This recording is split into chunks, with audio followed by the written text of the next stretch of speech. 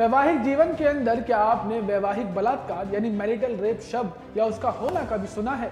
जब विवाह हो गया तो भी बलात्कार किस तरह हुआ? कहाँ से आया ये शब्द? अरे, आप बिल्कुल भी ना चौंकिए, क्योंकि यह होता है। कैसे? बिल्कुल मैं बताऊँगा इस बारे में। दरअसल, समाज के द्वारा स्वीकृत एक वैवाहिक संबंध में कई बार साथी के ज़ोर ज़बरदस्ती से संबंध बनाने वाले रवैये ने कई महिलाओं के वैवाहिक जीवन को नरक से बदतर बनाकर छोड़ दिया है। ऐसे संवेदनशील मामलों को लेकर कई याचिकाओं पर एक साथ दिल्ली उच्चतम न्यायालय ने सुनवाई की। जहाँ कई गंभीर टिप्पणियाँ न्यायालय की पीठ द्वारा की गई। तो चलिए आपको विस्तार से बताते हैं क्या है पूरा मामला। नमस्कार, मैं सुमित और आप देख रहे हैं मीडिया दरबार।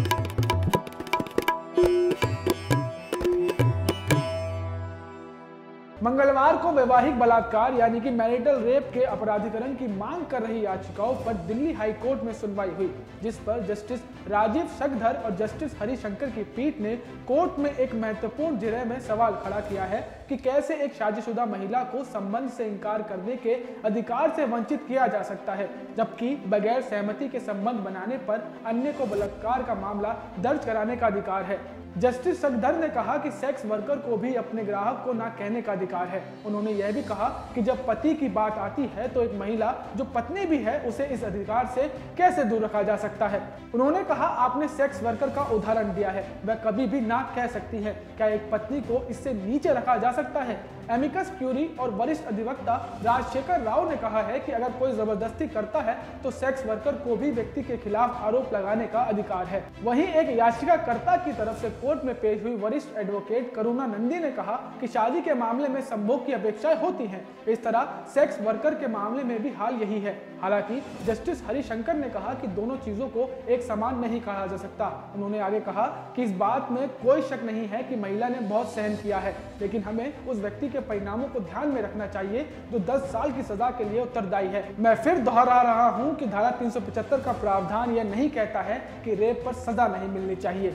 सवाल यह है की क्या इस मामले पर बलात्कार की तरह सजा दी जानी चाहिए? उन्होंने साथ ही कहा कि अगर हम हाँ कर रहे हैं तो हमें यह दिमाग में रखना चाहिए कि हम एक विधायी प्रावधान को खत्म कर हाँ कर रहे हैं। और हम यह कह रहे हैं कि धारा तीन सौ पचहत्तर में शामिल हर चीज़ लागू होनी चाहिए। फिर भले ही पार्टियाँ आपस में शादीशुदा क्यों ना हो, इस पर राव ने तक दिया कि बलात्कार बलात्कार होता है, बलात्कारी बलात्कार रहता है। इसलिए इस मामले पर कुछ भी सच्चाई को नहीं बदल सकता। शीर्ष अदालत के कई फैसलों के हवाले से वरिष्ठ अधिवक्ता राव ने कहा है कि कोर्ट ने लगातार ये कहा है कि दुष्कर्म एक महिला के अधिकारों का उल्लंघन करता है और ये समाज के खिलाफ एक गंभीर अपराध है। इस महत्वपूर्ण मामले पर कोर्ट ने शुक्रवार को सुनवाई जारी रखने का फैसला किया है। माना जा रहा है कि उस दौरान राव अपनी दलीलें खत्म कर सकते हैं। आपको बता दें कि इससे पहले केंद्र सरकार ने कोर्ट को जानकारी दी थी कि वह इस मामले में सकारात्मक कदम उठाने की प्रक्रिया में है। बेंच ने कहा था कि वह इस मामले की सुनवाई अगले सप्ताह तक जारी रखेंगे।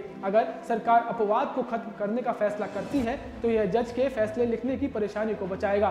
आपको बता दें कि दिल्ली उच्च न्यायालय ने मंगलवार को कहा था कि विवाहित और अविवाहित महिलाओं के सम्मान में अंतर नहीं किया जा सकता और कोई महिला विवाहित हो या ना हो, उसे असहमति से बनाए जाने वाले यौन संबंध को ना कहने का अधिकार है। अदालत ने कहा है कि महत्वपूर्ण बात यह है कि एक महिला महिला ही होती है और उसे किसी संबंध में अलग तरीके से नहीं तोला जा सकता। उच्च न्यायालय ने कहा कि यह कहना कि अगर किसी महिला के साथ उसका पति जबरन यौन संबंध बनाता है तो वह महिला भारतीय दंड संहिता की धारा 375 यानी बलात्कार का सहारा नहीं ले सकती और उसे अन्य फौजदारी या दीवानी कानून का सहारा लेना पड़ेगा, ठीक नहीं है। वैवाहिक बलात्कार को अपराधीकरण करार दिए जाने का अनुरोध करने वाले याचिकाओं की सुनवाई करते हुए पीठ ने पूछा, यदि वह विवाहिता है तो क्या उसे ना कहने का अधिकार नहीं है? न्यायमूर्ति राजीव शंकर और न्यायमूर्ति सी हरिशंकर की पीठ ने कहा कि भारतीय दंड संहिता की धारा 375 के तहत पति पर अभियोजन चलाने से छूट ने एक दीवार खड़ी कर दी है।